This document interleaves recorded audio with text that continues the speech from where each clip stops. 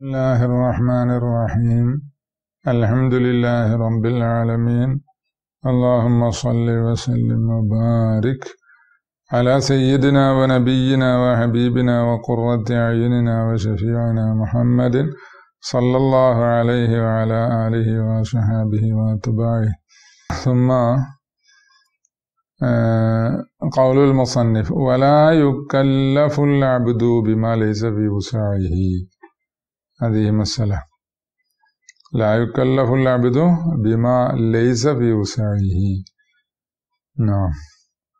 آه، تكليف العاجز. آه، نعم. هذا حرر هذا المقام الخيالي. قال قوله ولا يك- يكلف العبد بما ليس في وسعه تحرير المقام أن ما لا يطاق على ثلاثة مرات ثلاث مراتب. ما لا يطاق على ثلاث مراتب. ما يمتنع في نفسه. آه، وما يمكن في نفسه ولا يمكن من العبد عادة. هذا قسم ثاني. القسم الأول ما يمتنع في نفسه.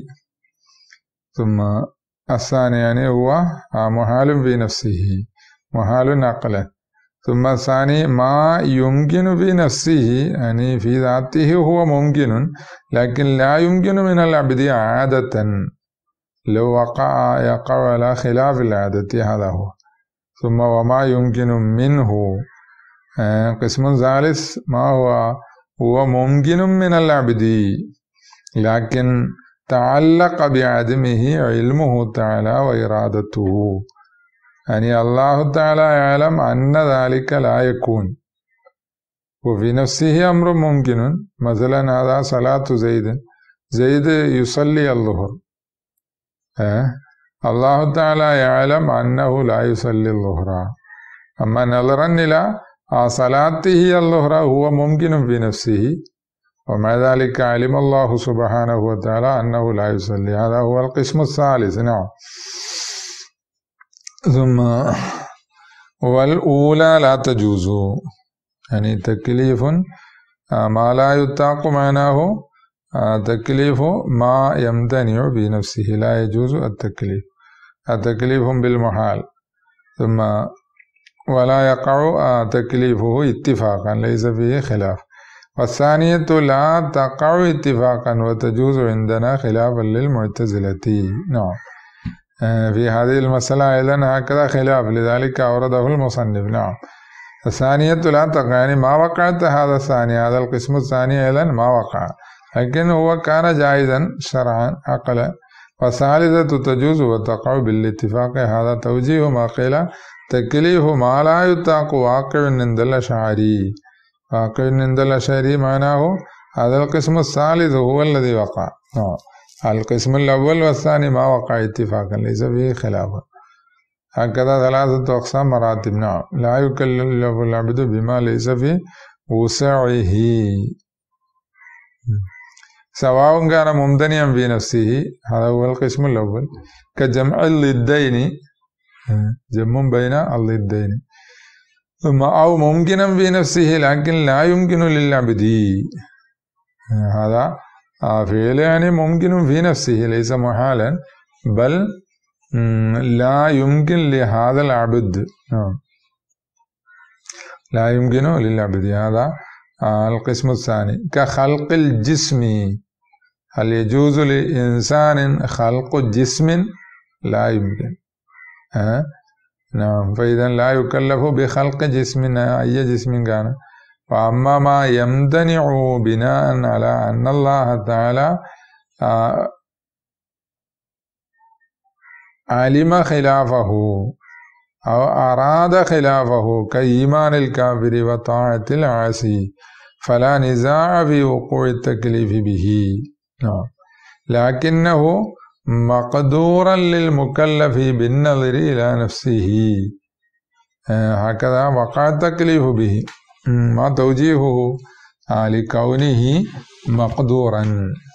هذا الأمر مقدور للعبد للمكلف لأنه آه، في نفسه ممكن بالنظر إلى نفسه يعني هو ممكن في في ذاته بنفسه. ثم عدم التكليف بما ليس بالوسع متفق عليه. آه نعم.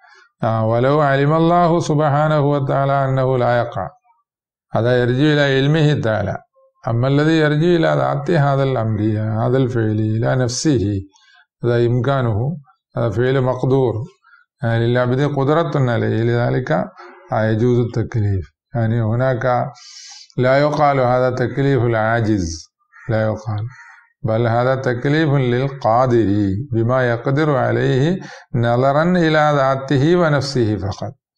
أما نظرا إلى علمه تعالى وهو ممتنع. ثم ثم عدم التكليف بما ليس بالوسع متفق عليه. آه، كقوله تعالى ليس فيه خلاف. آه، لا يكلف الله نفسا إلا وسعها. والأمر في قوله تعالى أنبئوني بأسماء هؤلاء. هذا والأمر في قوله تعالى جواب لسؤال تقديره لو كان التكليف بما لا يطاق غير جائز. فكيف أمرت الملائكة بإنباء الأسماء في قوله تعالى أنبئوني يعني هم ما كانوا عالمين الملائكة. فإذا كيف كلفوا الجواب؟ هذا والأمر في قوله تعالى أنبئوني بأسماء هؤلاء ليس آه، ما كان قدرة للتعجيز.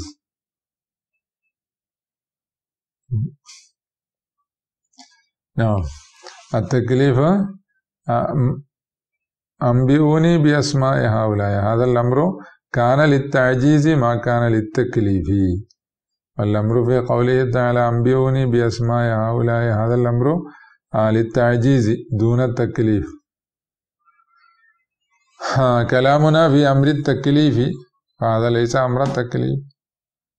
فلا يأتي مشكلا. ثم وقوله تعالى حكاية عن حال المؤمنين.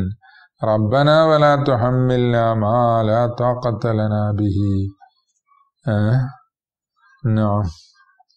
هذا أيضا جواب عن سؤال مقدر. تقديره آه أن قوله تعالى حكاية عن حال المؤمنين ربنا ولا تحملنا ما لا طاقة لنا يفيد جواز التكليف به. لو حمل التحميل على التكليف لأنه لو لم يكن جائزا. فلا حاجة إلى طلب عدم التحميل.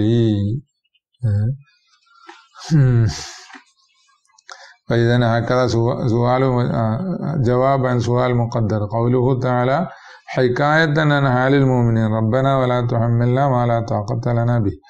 آه، ليس المراد بالتحميل هو التكليف. لا تحملنا هم دعوا أن لا يحملهم بما لا طاقة لهم به. فإذا هذا يقتضي بمفهومه آه، أنه يحمل بما لا طاقة لهم به. فإذا هم دعوا لئلا يحملهم. إذا هذا يفيد جواز هذا التحميل. إذا أجاب عنه هذا التحميل ليس تكليف بل إيصال ما يطاق ما لا يطاق من العوارض إليهم. هناك عوارض مثلا هذا الفقر المرض هكذا يعني عوارض بشرية. كثيرة. آه هذا الذي أريد مما لا يطاق نعم ثم وإنما النزاع في الجواز فمنعه المعتزلة.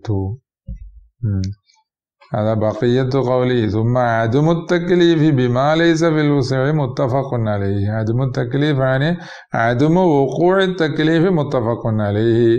ثم الخلاف بين أهل الحق والمعتزلة آه، هو في الجواز عقلا وشرعا. هل كان جائز أو غير جائز؟ هذا إنما النزاع في الجواز فمنعه المعتزلة بناء على القبيح العقلي. يعني هذا قبيح عقلي على القبح العقلي نعم على القبح العقلي. هذا قبيح عقلا.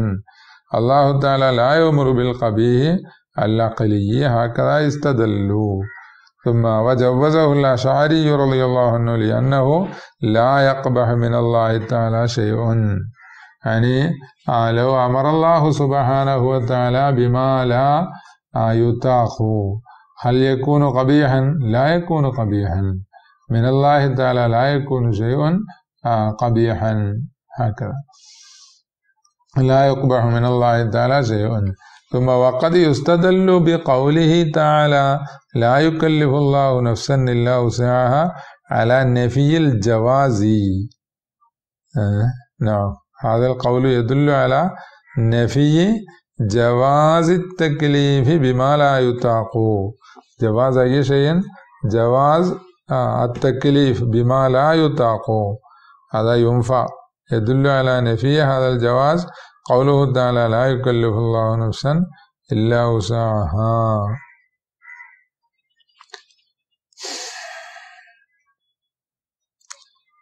آه، وتقريره.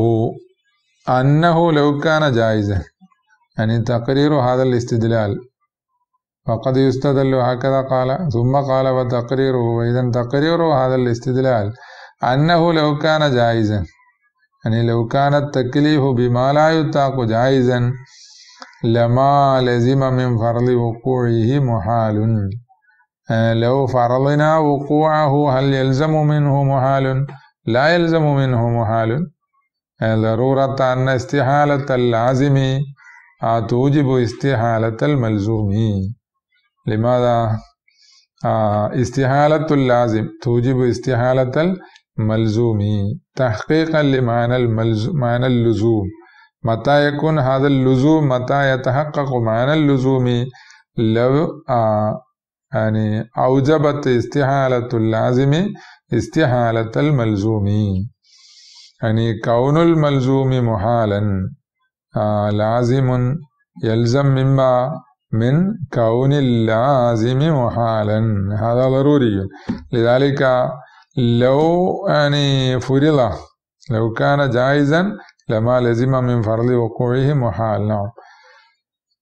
لكنه لو وقع لزم كذب كلام الله تعالى.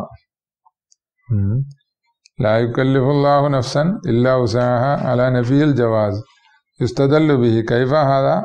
لو كان جائزا لما لزم من فرض وقوعه محال. لو كان هذا التكليف جائزا ينبغي ألا يلزم من فرض وقوعه محال. لماذا قال هذا؟ ما لزم من فرض وقوعه لما لزم يعني ينبغي ألا يلزم من فرض وقوعه محال. دليله هذا ضرورة أن استحالة اللازم توجب استحالة الملزوم تحقيقا لمعنى اللزوم. لكنه لو وقع يعني لو وقع التكليف بما لا يطاق. لزم كذب كلام الله تعالى وهو محال.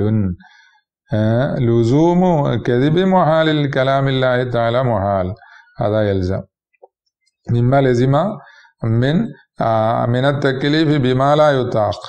فإذا ظهر لنا أن التكليف بما لا يطاق ليس بواقع ليس بجائز. لماذا؟ لو فرضنا وقوعه يلزم كذب كلام الله تعالى. ما هو كلامه تعالى؟ آه لا يكلف الله نفسا إلا وسعها.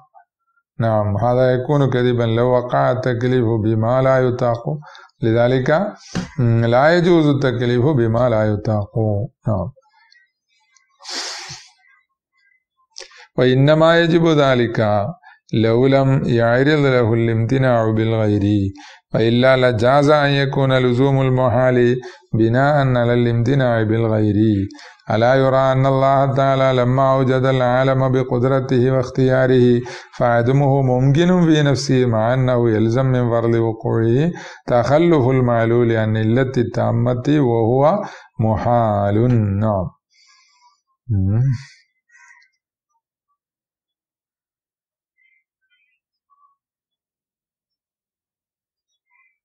لكنه لو وقع لزم كذب كلام الله تعالى وهو محال. وهذه نقطة في بيان استحالة وقوع كل ما يتعلق علم الله تعالى وإرادته واختياره بعدم وقوعه. يعني الله تعالى يعلم بعدم وقوع شيء آه، فإذا هو يريده ويختاره يعني عدم وقوعه. مع ذلك يتعلق به هذه نقطة آه، في بيان استحالة وقوع كل ما يتعلق. يعني وقوع آه، محال وقوع محال وقوع أي شيء وقوع كل ما يتعلق علم الله تعالى وإرادته واختياره بعدم وقوعه. وحلها أن لا نسلم أن كل ما يكون ممكنا في نفسه لا يلزم من فرض وقوعه محال. هكذا آه ذكر تقدم القاعدة لكن هذه القاعدة لا نسلمها آه آه لو فرض وقوع ممكن يلزم ألا يلزم من فرض وقوعه محال لا يلزم منه محال. هذا قاعدة ليس يعني مضطردة ولا مسلمة. نعم. بل آه يمكن يعني من فرض وقوع الممكن لزوم محال. آه ألا يرى هذا شاهد؟ إن الله أن الله تعالى لما وجد العالم كيف وجد؟ بقدرته واختياره. فعدمه ممكن في نفسه. يعني عدم وقوع آه هذا العالم يعني وجود هذا العالم ممكن في نفسه. لماذا؟ هذا وجود العالم كان ممكنا. الله تعالى أوجده بعلمه واختياره لكن في نفسه كان عدمه ممكن. فإذا لو فرض وقوعه مع أنه يلزم من فرض وقوعه يعني فرض وقوع عدم العالم. الله تعالى أراد اختار هكذا. ثم بعده لو لم يقع وجود هذا العالم بل فرض عدم وقوعه. تخلف المعلول عن علته التامة وهو محال. نعم. فإذا من فرض وقوع الممكن هذا لزم محال. هذا مثال. إذا ما ذكره من القاعدة غير مسلمة. والحاصل أن الممكن في نفسه لا يلزم من فرض وقوعه محال بالنظر إلى ذاته. فأما بالنظر إلى أمر زائد على نفسه فلا نسلم أنه لا يستلزم المحال يعني ما ذكره صحيح متى لو كان منظورا إلى ذاته نظرا إلى ذاته ينبغي ألا يلزم من فرض وقوع بالنظر إلى أمر زائد على نفسه ينبغي لا نسلم أنه لا يلزم المحال بل يلزم المحال كما ذكرنا من الأمثلة ثم مسألة أخرى. وما يوجد من العالم في المضروب عقيب ضرب ضرب إنسان والانكسار في الزجاج عقيب كسر إنسان وما أشبهه كل ذلك مخلوق لله تعالى. يعني رجل يضرب رجلا آخر؟ بعد إصابة العصا جلده يلمه هذا الألم مما؟ هل هو من تأثير هذا الضارب أو من تأثير العصا؟ كلا بل هو من خلق الله سبحانه وتعالى. لو لم يخلق يخلق الله سبحانه وتعالى هذا العالم لا يلمه ما هما ما هما اشتد الضرب ما هما اشتد الضرب لا يلمه لو لم يخلق الله سبحانه وتعالى. لكن عادته جارية بخلق العالم حسب آلة الضرب وشدته هكذا. وما يوجد من الألم في المضروب عقيبة. ضرب إنسان. لماذا قال ضرب إنسان؟ لو ضرب جني أو شيطان. نعم مسألة هكذا. لكن نظرا إلى محل الخلاف هكذا قيدا. محل الخلاف هذا. هل للعبد صنع فيه أم لا؟ هل للعبد صنع في هذا الأثر؟ أو ليس للإنسان ليس للعبد صنع نظرا إلى ذلك قيده يعني ضرب إنسان كذلك كسر إنسان هكذا. والانكسار في الزجاج عقيب كسر إنسان وما أشبهه كل ذلك مخلوق لله. قيد بذلك ليصح محلا للخلاف في أنه هل للعبد صنع فيه أم لا. أه؟ نعم بعض يعني أبو ورد كتب هنا فإن العلم الغير المرتب على ضرب إنسان والانكسار الغير المرتب على كسره لا صني لا لا صنع للعبد أصلا فيه اتفاقا. فإذا الألم بدون ضرب إنسان وكذلك الانكسار بدون كسر إنسان هذا ليس لأحد تأثير. آه، هذا الخلاف هنا الخلاف في آه، هل للعبد صنع لا؟ هذا هو الخلاف. لذلك قيده بإنسان. آه، كل ذلك مخلوق لله تعالى. لماذا؟ لما مر من أن الخالق هو الله تعالى وحده. ذكرنا في بحث مسألة خلق أفعال العباد نعم هو وحده. وأن كل الممكنات مستندة إليه بلا واسطة. الممكنات كلها مستندة إلى من؟ إلى الله تعالى بلا واسطة إنسان ولا غيره. واسطة بالتيسير نعم. والمعتزلة لما أسندوا بعض الأفعال إلى غير الله تعالى قالوا يعني هم أسندوا بعض الأفعال يعني هم قالوا أفعال العباد مخلوقة لهم يعني للعباد هكذا هم نسبوا بعض الأفعال إلى غير الله تعالى. نعم. قالوا إن كان الفعل صادرا عن الفاعل لا بتوسط فعل آخر فهو بطريق المباشرة وإلا فبطريق التوليد. هكذا عندهم فعلان. لو كان الفعل صادرا عن الفاعل يعني عن العبد عن زيد مثلا لا بالتوسط فعل آخر وهو بطريق المباشرة يعني يصدر هذا الفعل من من العباد بطريق المباشرة هكذا قسم قسم آخر يصدر هذا القسم من العباد بطريق التوليد توليد كيف يكون؟ لو كان هناك واسطة. ومعناه أن يوجب الفاعل الفعل لفاعله فعلا آخر. ما معنى التوليد؟ آه، معنى التوليد أن يوجب الفعل. هذا الفعل يوجب لفاعله فعلا آخر. آه، مثاله كحركة اليد. توجب حركة المفتاح.